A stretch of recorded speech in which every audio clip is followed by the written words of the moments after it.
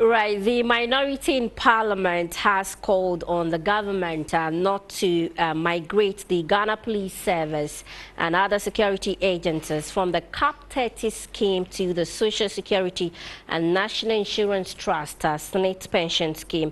According to the minority, putting the security agencies on the SSNIT pension scheme uh, great uh, danger for Ghana's national security, while the Deputy Minister of Employment and Labour Labor Relations, Bright Wireko-Brobbey, had announced that Cabinet had granted approval for the unification of all pension schemes under Act 766. This is to ensure that all members of the security agencies, except the officers and men of the armed forces, make personal, um, personal contributions to the SSNIT pension scheme. But the minority insists that this will leave men in uniform was off when they proceed on retirement. Well, this evening we are going to talk much on this particular issue and in the studio now is James Agalga, Member of Parliament for Builsa North and Ranking Member Defence and Interior uh, Committee of Parliament to throw more light on their call. Good evening and thanks for joining us this tonight here on Newsnight. It's been a while. It's a pleasure to I'm be glad here. to have you. Yes. Well, talking about the um, pension scheme, why should the security agencies not uh, be under the SSNIT pension scheme? Yes, there are very compelling reasons why the security right. services should not be placed under the SSNIT pension scheme.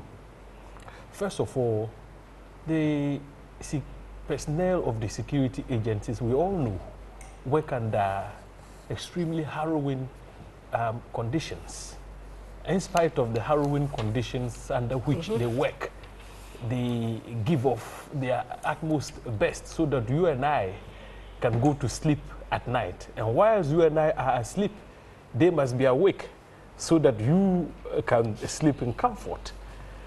Secondly, if you um, realize or you want to come to the realization that the officers and men in uniform work beyond the normal eight hours um, mandatory uh, work hours that other public servants ordinarily uh, would work.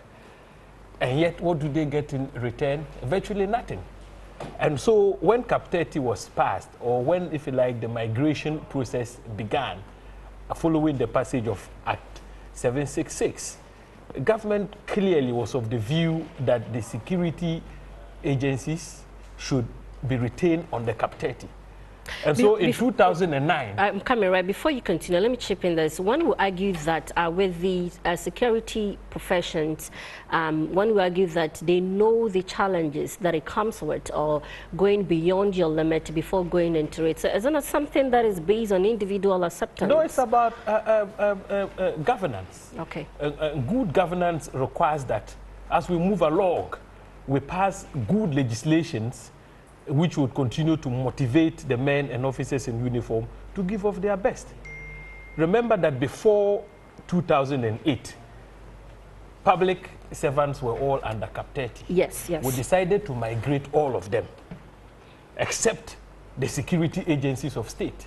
Even though a particular provision in the Pensions Act 2008 Act 766 Six, yeah made provision for only the armed forces to be exempted from the migration process.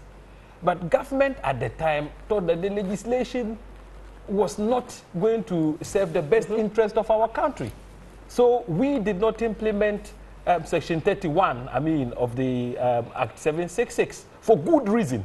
Like? Because of the nature of work of the security services. You understand, they are exposed to um, um levels of risks that ordinarily you and I would not be exposed to. And the risks include even death, permanent injury, incapacitation, and the, the, the general inconvenience that they go through so that you and I can go to sleep in comfort. So government took the view position at that time, and, and, I'm talking about the NDC government in 2009. 2009. Remember okay. that this legislation was passed in December 2008. Yes. So, and uh, uh, NPP lost, we took over power, in 2009. But Professor Mills and John Mahama were clearly of the view that, look, it wouldn't serve any uh, useful purpose to migrate the, the security agencies other than the armed forces onto the new pension, uh, national pension scheme. So, so we allowed them to continue to be on, on, on the cap 30 until uh, the Honorable Deputy Minister appeared before the public, so uh, the uh, public Accounts Committee and made that infamous announcement about government's uh, uh, cabinet decision, which is to the effect that the security agencies be migrated onto the uh, uh, um, SSNIT pension scheme. Right, we all know that this was under your watch. Why didn't you just amend the law than leave it for any other person, uh, another president to come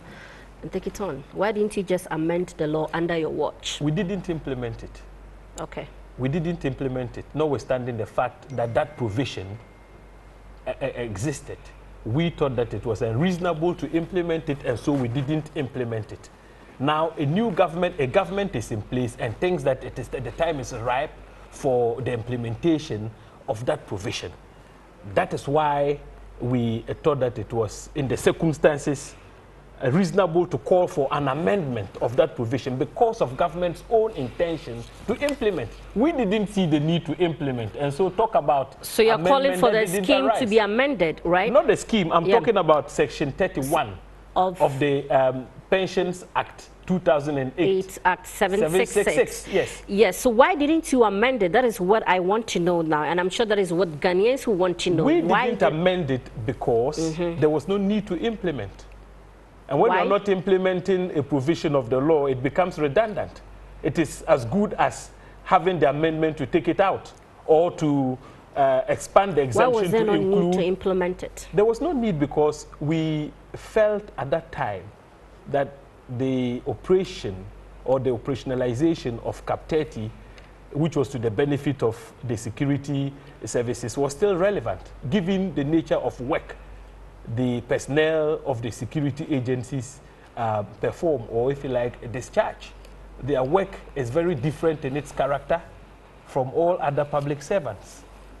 The conditions under which they work, the risk they are exposed to, the dangers involved associated with their work it's not comparable to, um, say, my work, what I do. And so I do not expect that when I am being migrated from CAP 30, they should also be migrated. That is why we retain them on the CAP 30 scheme. In fact, that is the least government can do, the state can do, to motivate the men and women in uniform to give of their best.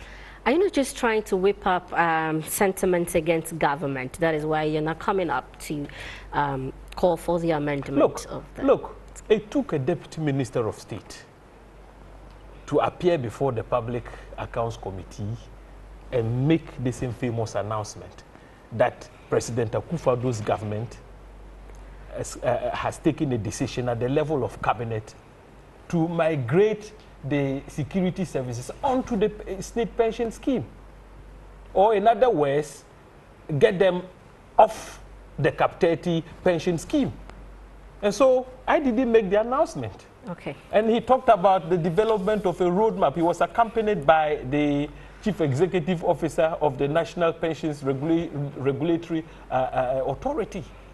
So this is government's position. We're saying that this position, if implemented, this policy decision will not be in the interest of our security agencies. Remember that as a member of parliament, we exercise oversight over the executive arm of government. So my intervention, mm -hmm. or mm-hmm. if you like, the intervention of the minority should be seen in that light. Nobody is whipping up public sentiments against government.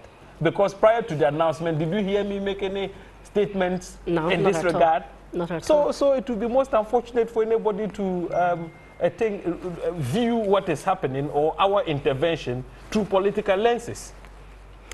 So now, um, if governments are refusers or fail to listen to what are you're calling for and goes ahead to implement the uh, provision, what next? What is the minority be, going to would, do? It would be unfortunate. Okay. And a step in the wrong, a wrong step for government to take remember that when you um, resort to conduct, that can, if you like, um, take away the motivation that our men in uniform ought to be given, in a way, you are compromising national security.